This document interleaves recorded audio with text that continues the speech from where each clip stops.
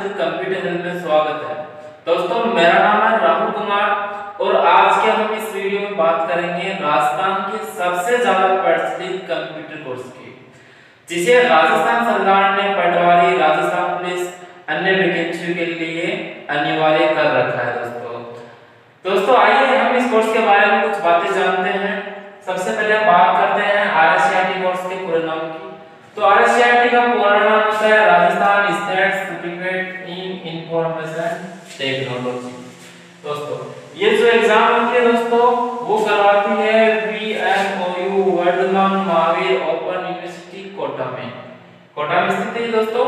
और ये आरएससीआईटी के अलावा ये यूनिवर्सिटी कंप्यूटर जो कॉलेजेस कोर्स होते हैं, वो भी करवाती है। दोस्तों आरसीआईटी एग्ज़ाम होती है। एग्ज़ाम में हमारे पास जो 70 रैंक की एग्ज़ाम होती है, वो होती है ओएमआर सीट पर होती है दोस्तों, जिसमें 35 क्वेश्चन होते हैं, पर क्वेश्चन दो अंक का होता है। दोस्तों, आपको इस पेपर को पास करने के लिए 35 क्वेश्चन में से 14 क्वेश्चन सही करने अनिवार्य होते हैं। अन्यथा आप फेल हो सकते हो।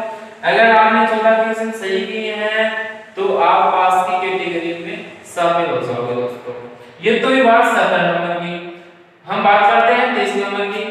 तीस अंक का नंबर का जो हमारे पास होता है वो होता है आइलैंड आधारित प्रैक्टिकल होता है दोस्तों यहाँ आपको मैं छोटी सी बात बताना चाहूँगा आइलैंड जिस कंप्यूटर सेंटर पर आप आरएसआईटी का एडमिशन करवाते हैं, वहाँ पर आपको लॉगिन आईडी और पासवर्ड प्रोवाइड किए जाते हैं।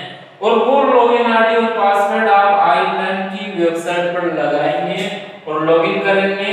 लॉगिन करने के पश्चात उसमें आपका प्रोफ़ाइल ओपन होगा और उस प्रोफ़ाइल में आपको टोटल 15 चैप्टर मिलेंगे। पर चैप्टर दो नंबर का होगा।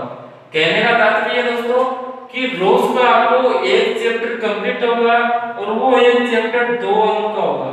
इसी क्रम में आपको 15 दिन तक लगातार ये 15 चैप्टर करने होंगे और आप 30 अंक में से जितने प्राप्त करते हैं प्लस जो आपने एग्ज़ाम दी है सत्तर नंबर की, उसमें आपने जितने प्राप्त किए हैं, वो सारे रिज़ल्ट में टोटल मार्क के रूप में आपके डिप्लोमा में वहाँ पर दर्शाए जाते हैं। दोस्तों दोस्तों, यहाँ आपको मैं छोटी सी बात बताना चाहूँगा। कई विद्यार्थियों की दिक्कत आती है कि हम आरएसआईटी कोर्स कहाँ से करें?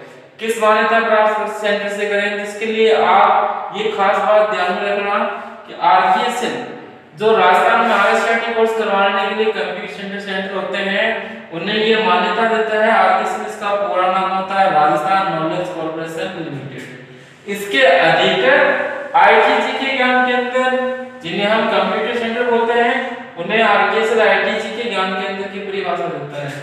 इन ज्ञान केंद्रों से आप जो आरएसआईटी का कोर्स होता है, वो आप कर सकते हो और वो वैलिड होता है।